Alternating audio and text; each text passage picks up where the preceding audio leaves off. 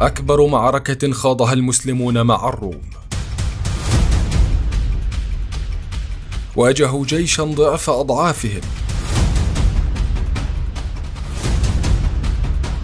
شهدت أحد أعظم الخطط العسكرية في التاريخ الحربي.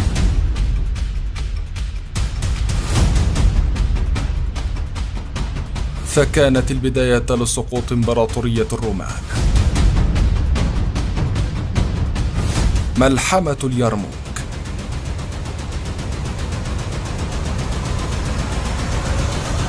كسر الإمبراطورية الرومانية.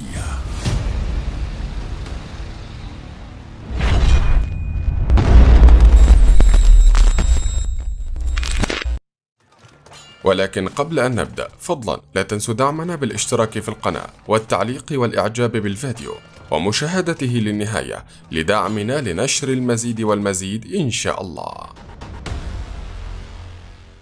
بعد وفاة الرسول صلى الله عليه وسلم شرع أبو بكر الصديق رضي الله عنه في تنفيذ وصية النبي صلى الله عليه وسلم وبدأ عهد الفتوحات الإسلامية في الشام مع عقل الفرس والروم والتي شهدت معارك غيرت النظام العالمي.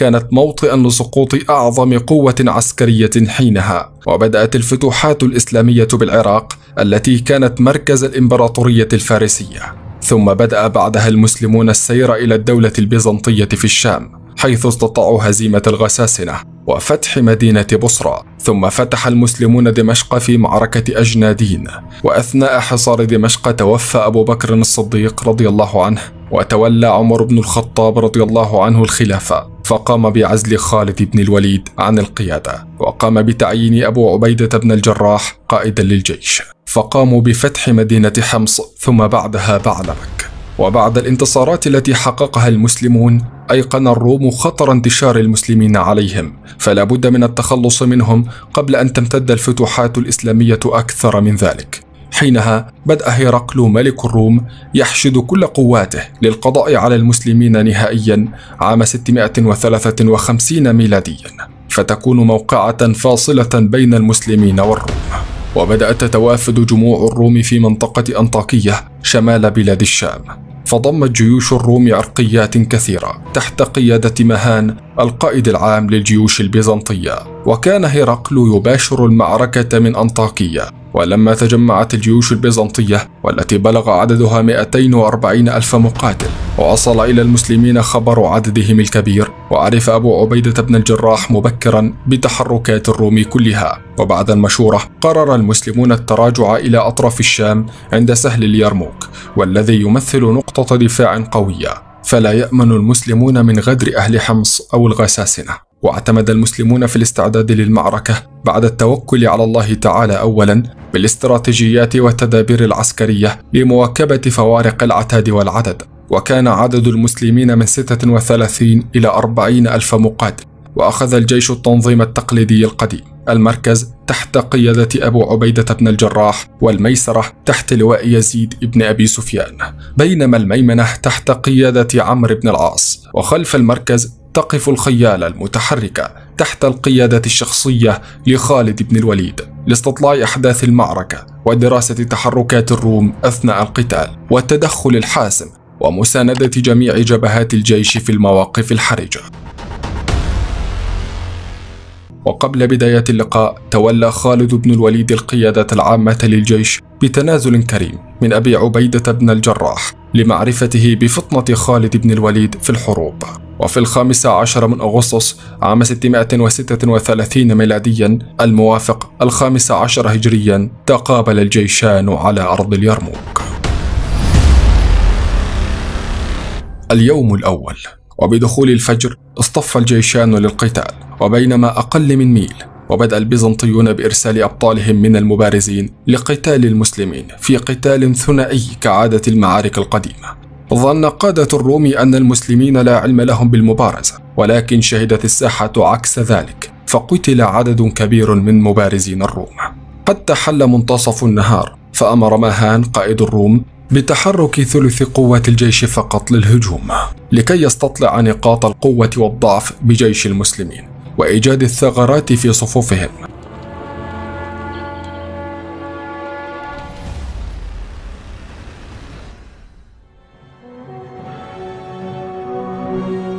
تقدم إليهم المسلمون والتحموا معهم.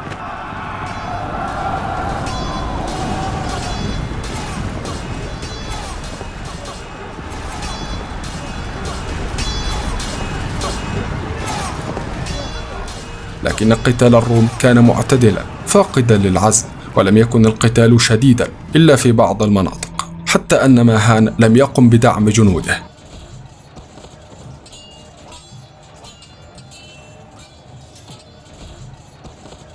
ولما حل الظلام عاد كل جيش إلى معسكره. اليوم الثاني.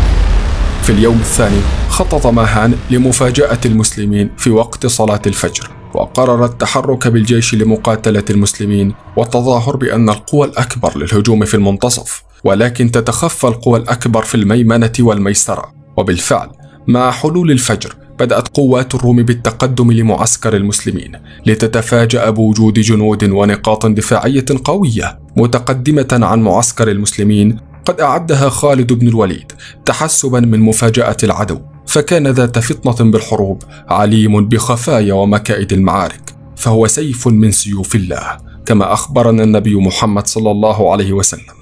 افتقد الروم لعنصر المفاجأة التي كان يخطط لها ماهان بدأ القتال بين الروم والمسلمين؟ كان قتالا شديدا.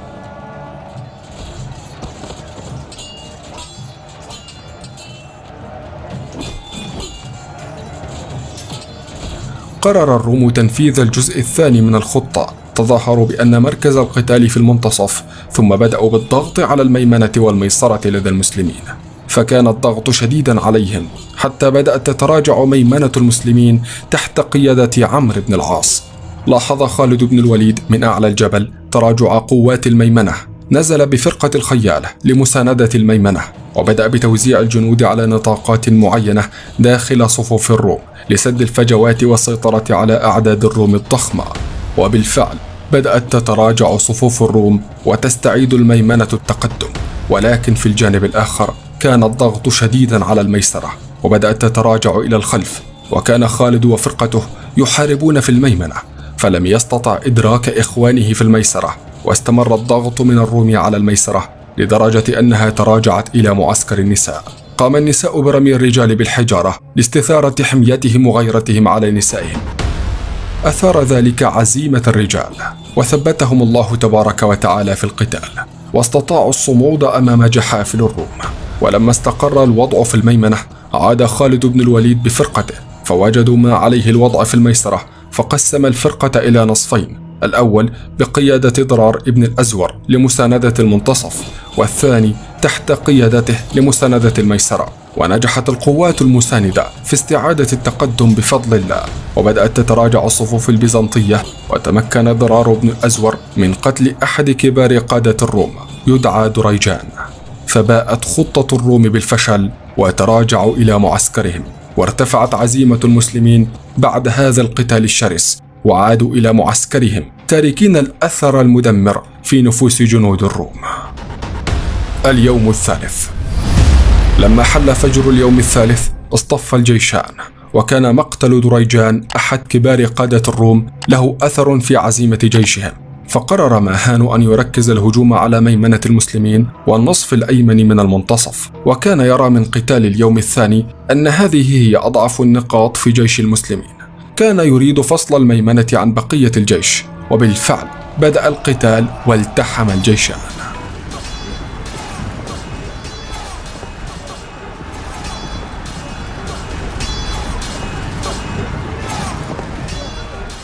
ركز الروم على ميمنة المسلمين والجزء الأيمن من المنتصف. واستطاع عمرو بن العاص الصمود في البداية ولكن مع الضغط الشديد من الروم بدأت تتراجع صفوف المقدمة كما بدأت صفوف اللواء المجاور له في المنتصف في التراجع أيضا. فنزلت فرقة خالد بن الوليد لمساندة الميمنة حتى استعادت الميمنة التقدم مجددا.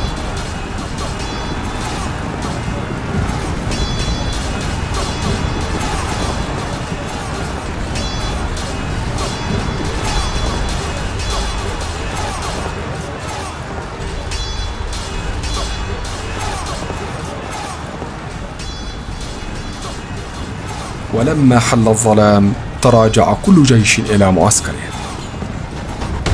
اليوم الرابع. مع بداية اليوم الرابع عزم ماهان على إنهاء المعركة. صمم على تنفيذ نفس الخطة. كان يظن أنه قريب من النصر لولا تدخل خالد. لما اصطف الجيشان بدأ الروم بالهجوم الشديد على ميمنة المسلمين. فتراجعت الميمنة إلى الوراء. فعاد خالد بتنفيذ ما فعله في اليوم الثالث حتى توازنت كفة الميمنة مرة أخرى وقرر خالد التحرك سريعا لمفاجأة قوات الروم فقسم الخيالة إلى نصفين نصف للقتال داخل المنتصف والنصف الآخر داخل الميسرة لأن تركيز قوات الروم على ميمنة المسلمين وعندها هاجم الخيالة. بدأ منتصف جيش الروم بالتراجع إلى الخلف فاستغل خالد ذلك والتف حول ميمنة الروم ودمر الميمنة تدميرا كبيرا.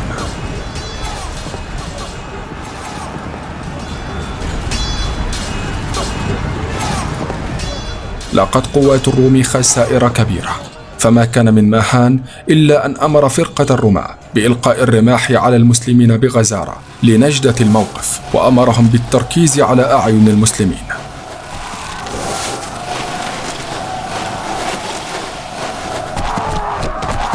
وبالفعل أصابوا المسلمين إصابات بالغة حتى أنه سمي ذلك اليوم بيوم التعوير.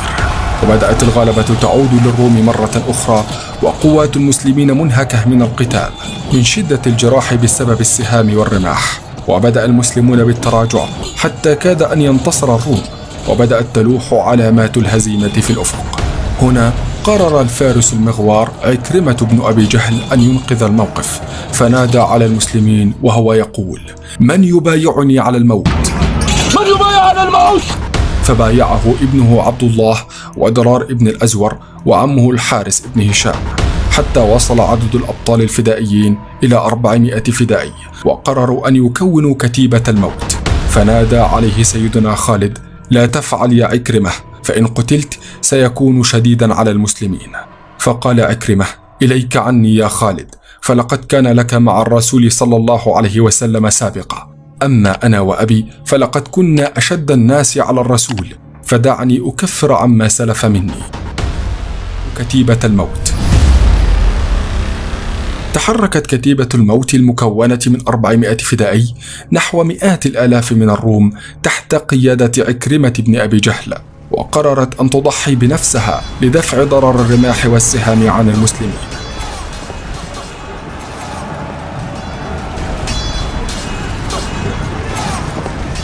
وانقضوا على الكفار انقضاض الأسد على فريسته وتقاتلوا مع جحافل الروم قتال الليوث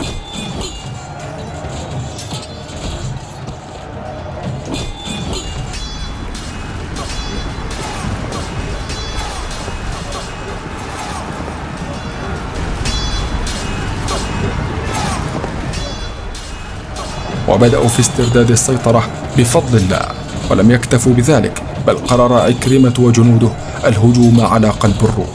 واستطاعوا إحداث ثغرة في جيش الكفار بعد أن انقضوا على صفوفهم انقضاض طالب الموت. فاقتحموا صفوفهم الكثيفة وقاتلوا قتالا شديدا وقتلوا الآلاف من الروم. حتى انفك الحصار وتقهقر جيش الروم ورجع لمعسكره. فأخذ الجيش الإسلامي الوقت لإعادة تنظيم صفوفه والاستعداد لمواكبة الروم. فتش خالد بن الوليد عن ابن عمه عكرمة ليجده ملقا بين اثنين من جنود كتيبته الفدائية الحارث بن هشام وعياش بن أبي ربيعة والدماء تسيل منهم جميعا.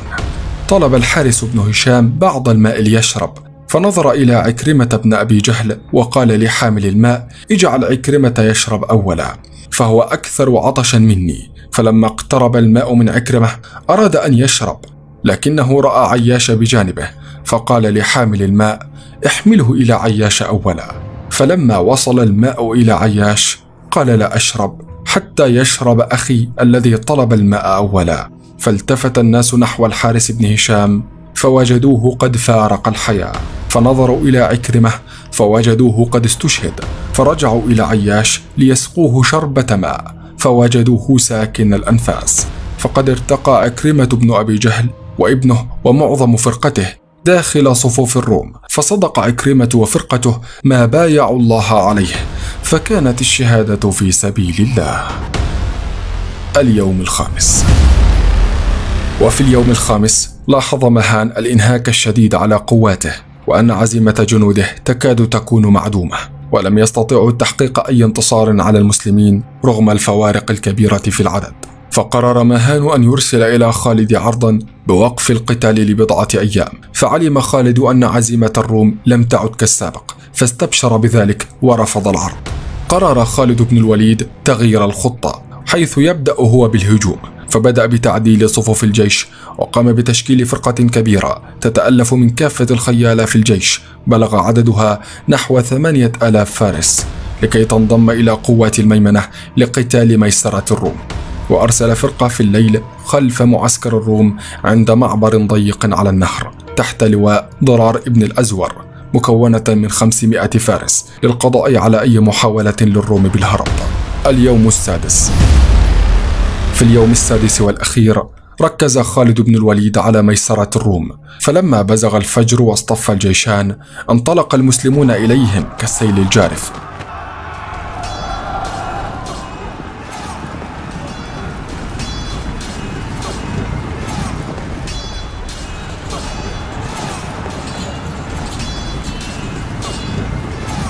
وانقضوا عليهم انقضاض الأسود الجائعة. وكان تركيز المسلمين على الجبهة اليسرى من الروم فشن عمرو بن العاص هجوما شرسا على ميسرة الروم وبدأت فرقة الخيال التي كونها خالد بن الوليد بالهجوم على الميسرة أيضا. وبعد وقت من القتال الشديد بدأت تتراجع صفوف الميسرة أمام ضغط المسلمين. وبدأ شرحبيل بن حسنة قائد الجانب الأيمن من المنتصف بتشديد القتال على جانب أوسع لعزل الميسرة عن المنتصف كما خطط خالد. وهنا كانت اللحظة. أخذ خالد بن الوليد فرقة الخيالة وترك ساحة القتال وبدأ في الالتفاف حول ميسرة الروم للقضاء عليها نهائيا. فعندما رأى ماهن ذلك دعا كافة خيالة الروم لتجتمع خلف قلب الجيش البيزنطي لتنظيم هجوم معاكس ضد خيالة المسلمين. ولكن ماهان لم يكن سريعا بالشكل الكافي. فكان الفرسان المسلمين مسلحين بشكل خفيف ومؤهلين لحركة الالتفاف ومستعدين أكثر. فهاجم خالد خيالات الروم أثناء تجمعهم بينما كانوا في بداية الاستعداد للمناورة. فلحق بهم من الضرر العظيم. فسارع الخيالة البيزنطيون إلى الهرب باتجاه الشمال في وسط من الفوضى. فبدأ خالد بن الوليد بعدها بالهجوم المباشر على قوات الميسرة من جيش الروم. وبالأخص نواة جيش الروم وهم الأرمن وكانوا تحت القيادة الشخصية لماهان وأصبح الهجوم عليهم من ثلاثة اتجاهات في آن واحد. وبدون دعم من الفرسان الروم ولم يكن للروم أي فرصة بالصمود. فتم تدمير ميسرة الروم بالكامل بفضل الله. بعدها انهزمت بقية قوات الروم فتشتت البعض بشكل عشوائي مرعوبين.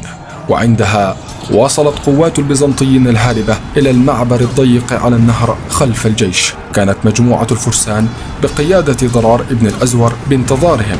فكما توقع خالد ذهبت معظم الفلول الهاربة في اتجاه النهر ووقعت قوات الروم في الحصار بين الفرسان وبين الخيالة المشاة فهزموا بلمح البصر. وتخطفوهم تخطف النسور للعصفور.